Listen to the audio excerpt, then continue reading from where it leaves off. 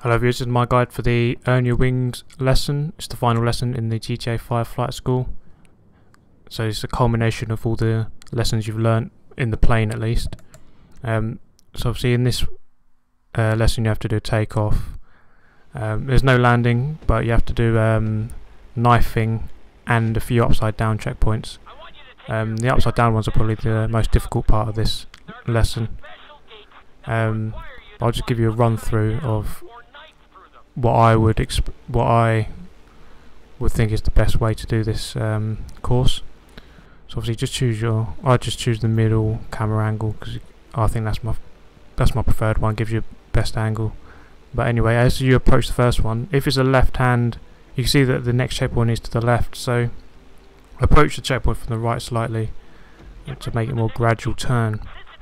Now for these knifing ones, you want to, if it's a left hand one, so the next checkpoint after this is a left, so you want to bank to the left and then hold RB to knife to keep the plane up.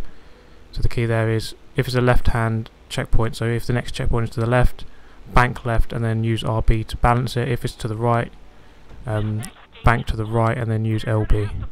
So for the upside down ones, get yourself in line quite early and then at the last minute just do a 180 make sure you hold down the left stick exactly to the side because if you hold it anything other than the side you'll um, start doing awkward angles and you probably won't land it.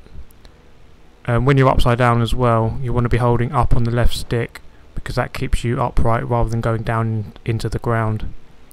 Now again for this left this one's a left hand knife so you bank to the left and then hold RB to uh, keep the plane upright um, so as we approach into the city, you just get yourself perfectly horizontal and then you can just use the rudders here. So use LB and RB to line yourself up, it's quite simple. And again we have another left hand knife here. So bank to the left, 90 degrees, RB to keep your plane up. Keep it at 45 degrees roughly to turn to this left next checkpoint. So this next one is a right hand knife because the next checkpoint is to the right. So just turn turn right and then LB or L1 so this one is an upside down one. You want to line yourself up as early as you can.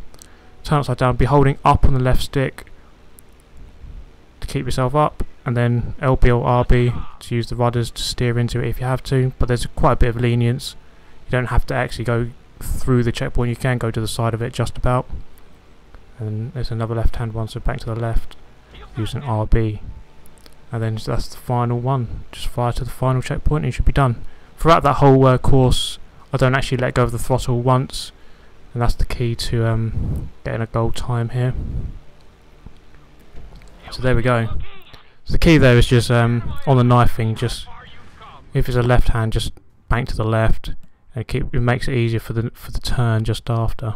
And for the upside down ones line yourself up early turn late upside down late and then use up on the left stick to keep yourself upright. I hope this helped you guys. See you next time.